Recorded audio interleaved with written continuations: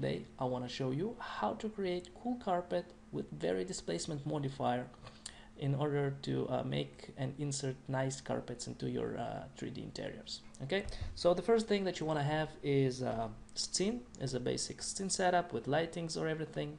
It might be a room, it might be um, some interior space um, with the V-Ray physical camera applied to it.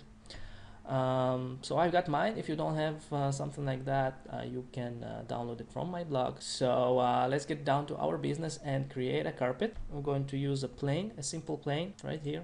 So uh, create a plane and uh, add enough length and width segments in order to have a good quadratic segments distribution. I'm going to use 32 and I'm going to use 42 because I'm working with 420 centimeters and 320 centimeters. So this is basically going to be quadratic okay? Um, the next thing that you want to do is to add a little bit height to your carpet. So uh, let's add a height. It's going to be um, a shell modifier. Just press S till you find shell and press OK when you find it. Let me press L and go to the left view in order to view my uh, shell modifier being applied. So as you see here this shell modifier is uh, is quite thin uh, you don't want to make really thick carpet but you don't also want to have a thin paper. So uh, just to give a little bit of height to your carpet and uh, and you'll be fine. The next thing is uh, we want to add some uh, map some material to our carpet. And I'm going to use a very standard material. I'm gonna give it a little bit beige color something like that. I'm gonna name it carpet of course. And if I'll scroll down in bump I'll put some nice bump texture. As you see here I'm not using real world scale parameters uh, just a regular uh, bump. Uh, it's actually grass but um, it's also good for carpets. So uh, as you see here it's kind of small. It's 512 and 512 you might want to use bigger resolutions for uh, your uh, displacement objects. But for this tutorial it might work quite good because it's a small carpet so uh, I'm going to put it in my uh, in my um, displacement in my uh, bump mode sorry right here on the bump map. And uh, I'm going to press assign this material to my carpet and I'm going to press show standard in order to see my uh, material being applied to the carpet so it's actually on the bump only in the bump slot. Um, the next thing that you want to do is to put UVW map to your carpet. So just uh, press U and scroll down till you find UVW mapping. Um, also here don't use uh, real scale uh, uh real scale uh, parameters. Just uh, use it on the box and um, well you can work tiling a little bit on that one something like that and you might want to also put 80 and 80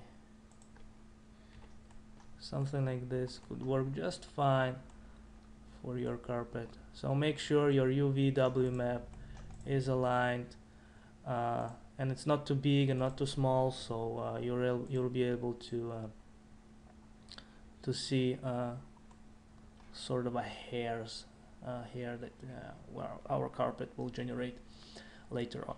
Okay so I'm going to press C. And uh, the last thing that you want to add is your V-Ray displacement. Just press V till you get to your V-Ray displacement mode. Um, use it on a 2D um, uh, mapping because we're not using procedurical so there's no need to use 3D mapping in this texture map, you might want to drag the same JPEG as we applied to our bump. So I'm going to drag and drop it like that. Um, as you see here, I'm going to use a mount of 1.5 centimeters. This is basically it. I'm going to also use a 512 uh, resolution for my text uh, for my uh, map because I'm using a 512 uh, resolution if you use bigger uh, 1024 or 2048 this is the amount that you should put here. Okay so uh, let's uh, let's press render and see what we get. Um, as you see here I'm rendering big resolution 1600 pixels on uh, 1200 pixels. It will be big enough in order to zoom and get uh, good orientation of uh, how our map displacement map being distributed.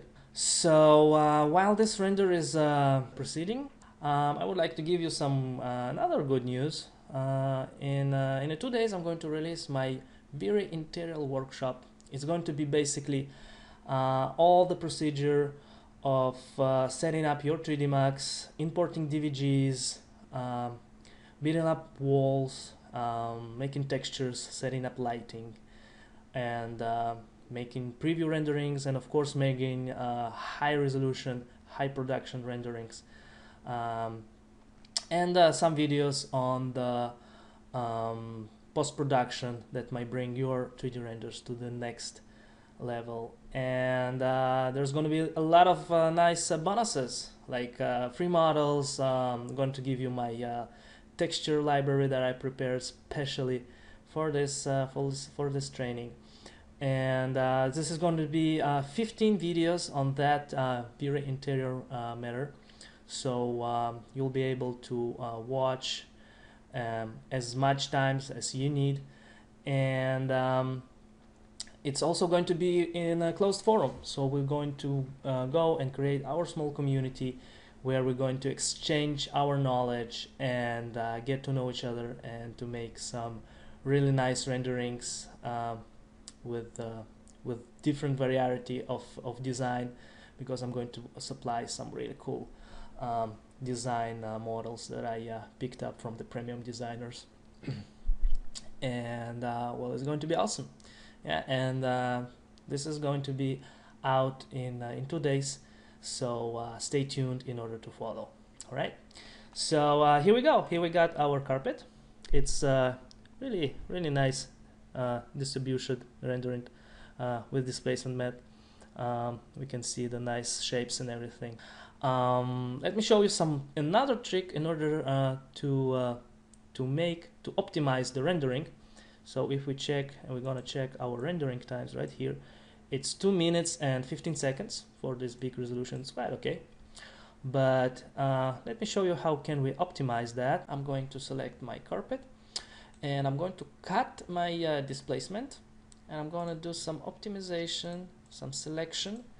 Uh, I'm going to select my inner material ID of this carpet and I'm going to delete basically the inner surface of our carpet. So this is something that's going to um, optimize and going to make our render go faster because we're not going to have this all this inner surface uh, to calculate. Okay, so I'm going to press all those uh, override my inner ID channels right here and I'm gonna put two uh, to my mat material ID right here. And I'm going to put editable poly. Gonna uh, gonna press polygons and gonna scroll down to my selection ID I'm gonna press 2 right here and make a selection. So we did we did an inner selection of our uh, displacement map.